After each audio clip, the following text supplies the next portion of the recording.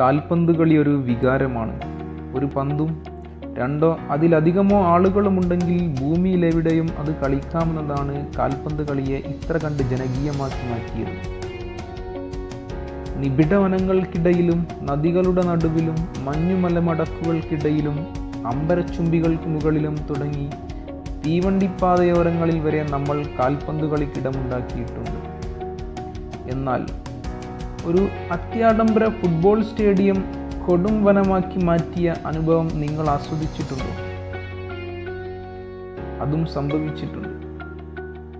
ജർമ്മനിയിലെ ലോറിഷിൽ ജനിച്ച close Lipman എന്ന സ്വിസ് കലാകാരനാണ് ഈ വിചിത്ര കലാവിഷ്കാരത്തിന് പ്രശസ്തൻ.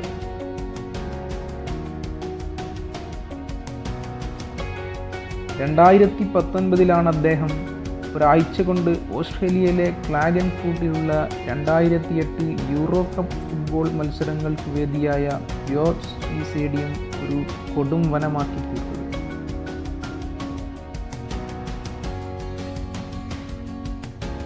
മധ്യ യൂറോപ്പിലെ വൻ മരങ്ങളെല്ലാം അവിടെ പ്രകൃതിയിലെന്നോണം തല ഉയർത്തി നിന്നു.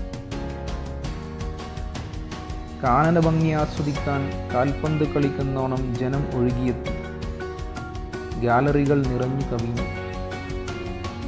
രണ്ടായിരത്തി പത്തൊൻപത് സെപ്റ്റംബർ എട്ട് മുതൽ ഒക്ടോബർ ഇരുപത്തിയേഴ് വരെ ആ വനം അവിടെ നിലനിന്നു. കൂടുതൽ കായിക അപ്ഡേറ്റുകൾക്കും വിശേഷങ്ങൾക്കുമായി ഈ ചാനൽ സബ്സ്ക്രൈബ് ചെയ്യുക.